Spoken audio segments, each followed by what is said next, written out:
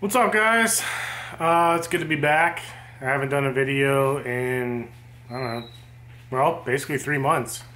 Because that's how old my son Max is tomorrow. Three months old. Uh, it's pretty crazy how fast it's gone. Um, obviously I don't have as much time to just come to the garage and make videos and edit all the time right now, but uh, I'm starting to figure out when I potentially could have those times. Mainly it's going to be later at night when he's sleeping or early in the morning when he's sleeping. Um, so, yeah, um, not to talk about that too much, but uh, in the frog room I haven't done, well, I guess since the last update, I've built four tanks, which you'll see. Um, I built four new tanks um, in a matter of two weeks, and I completely did all the backgrounds, substrate, planting. So I completed four tanks start to finish in like a matter of, I don't know, nine days or something.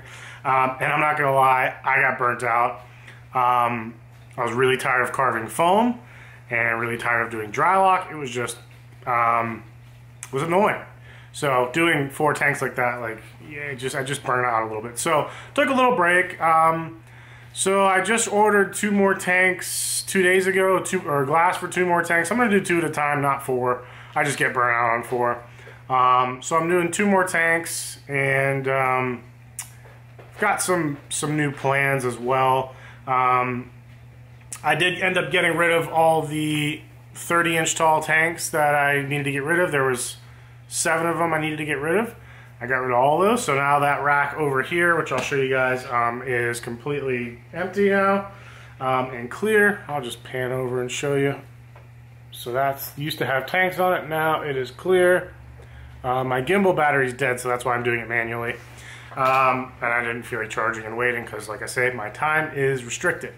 Um, so yeah, those are now. I'm, I'm gonna. I was gonna use this as storage but I think I'm just gonna get another six foot rack and put it on that side next to this four foot rack that I just did.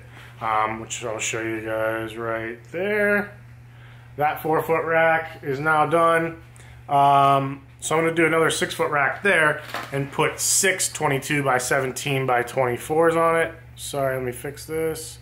Uh, again, I apologize about the gimbal. Um, so yeah, this six foot rack, I'm gonna end up moving four feet down, slipping another four foot rack in here, and that's where I'm gonna do those two tanks.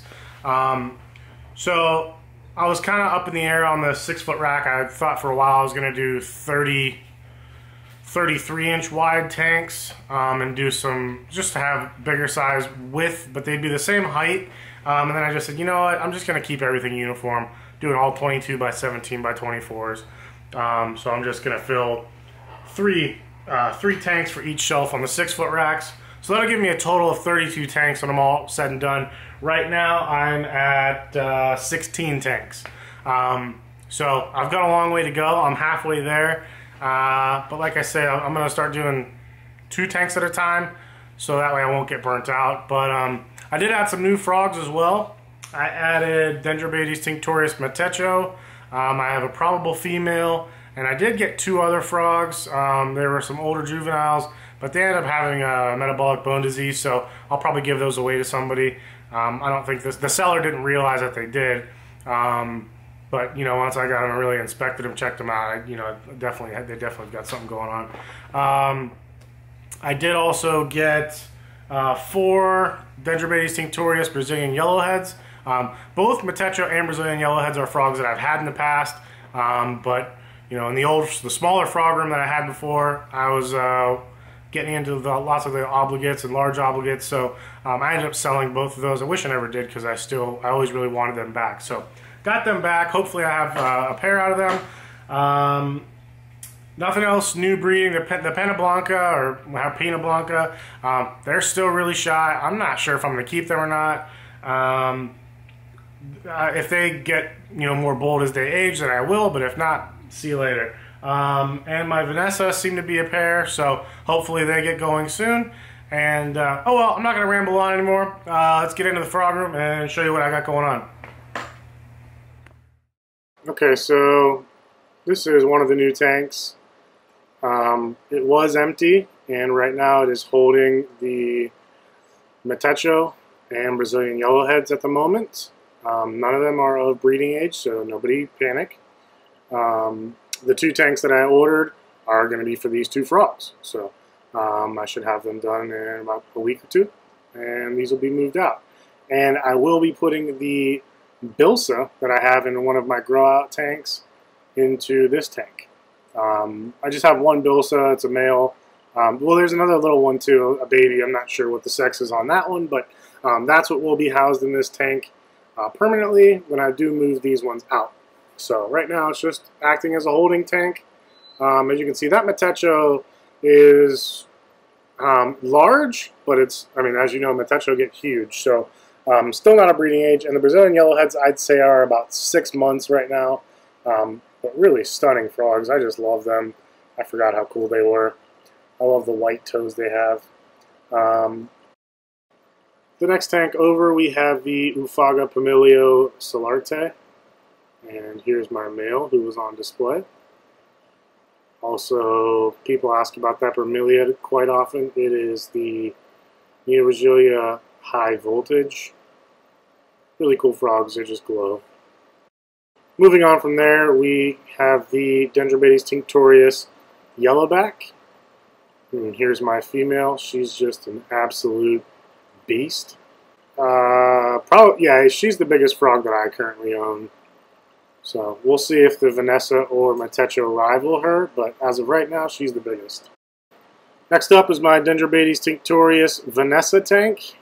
Here you can see my male um, by his huge toe pads and his more slender physique. Really neat frogs. You know, I wasn't sure if I was going to keep these or not, but they really grew on me. I really like just the stark black and white difference in color and they're definitely different from powder blues. You know, they don't have that vanilla or cream color on their back. It's just straight white. Um, and their legs are just white and black. So this is my female here. These frogs are about 10 months right now. Um, they're fairly large in size for the time being, and I'm guessing they'll only get larger.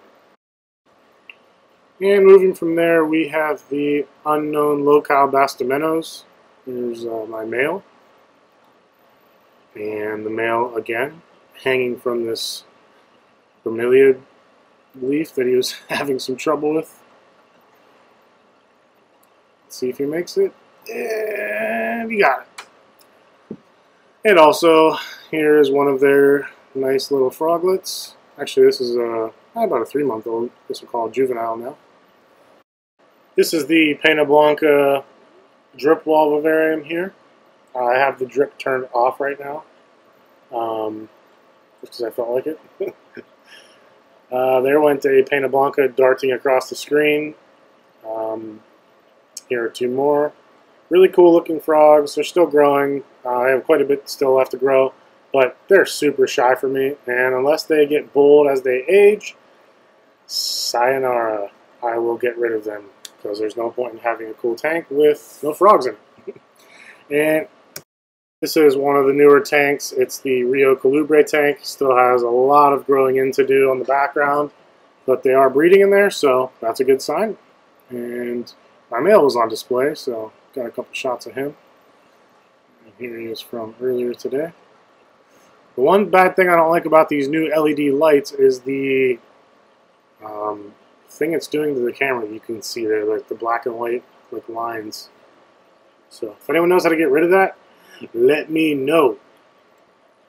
And this tank here is the Dendrobates tinctorius Koetari. This is my female here. She was very still and made a great shot for the camera. So I definitely had to take advantage of that.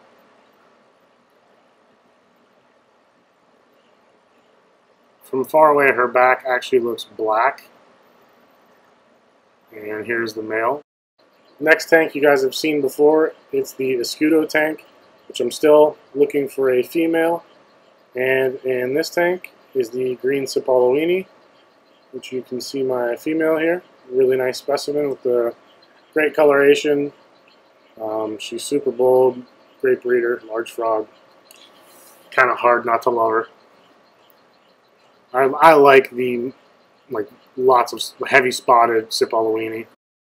This tank is just a froglet grow out that houses yellowbacks, green sips, Koetari, um, so, uh, my Bilsa that I need to move into that other tank that we talked about earlier.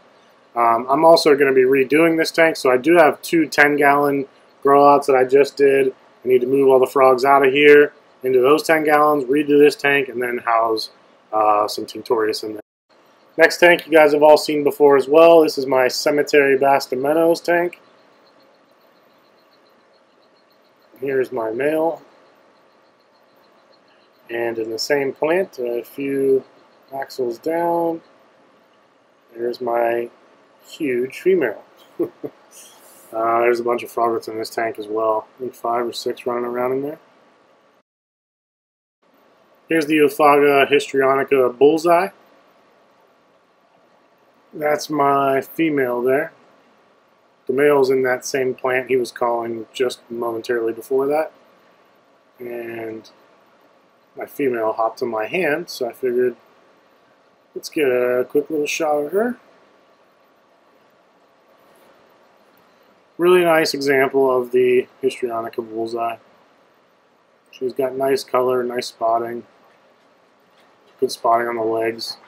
Cool frogs. And here's a histrionica bullseye tadpole. Next is the Sylvaticus San Lorenzo tank. Couldn't get any good shots of them, but you guys have seen them before.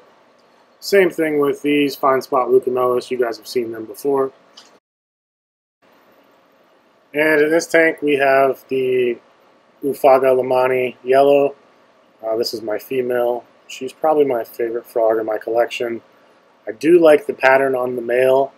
Maybe slightly more than her pattern, but her feet are pretty much completely white, which I love and his are not nearly as white. Uh, also, these are some tadpoles that I am raising of theirs. Uh, I've been stealing their eggs and stealing lar other large obligate eggs. Also, after the tadpoles get a certain age, they can also eat tinctorius eggs. There's my male right there. Um, okay, guys, that's going to do it for this month's update. I hope you enjoyed um, the room tour. And like I said, there's a lot more I still have to do. I have to build 16 more tanks, so um, I'll be posting, you know, as I finish out racks. I'm not going to post a video every time I finish a tank. Um, that's just going to be too much time making videos. I, don't, I just don't have it. Um, so, or if I get new frogs or something, maybe I'll do an unboxing video. Something short, and sweet, and quick and easy. Um, a lot of adjectives there. But, uh, yeah, so that's going to do it. Um, like I said, Till next time, um, hope you enjoyed. And uh, subscribe to me on Instagram. Uh, my why? Why can't I just speak? It's like I put the camera on me and I'm just dumb. Um, follow me on Instagram at Oophaga Histrionica. Um, also, you can message me on Facebook. It's the name Troy Goldberg in Youngstown, Ohio. And I look like this. So if you see me on Facebook, which has my face, you'll find me. Um, all right, guys. Till next time. Peace.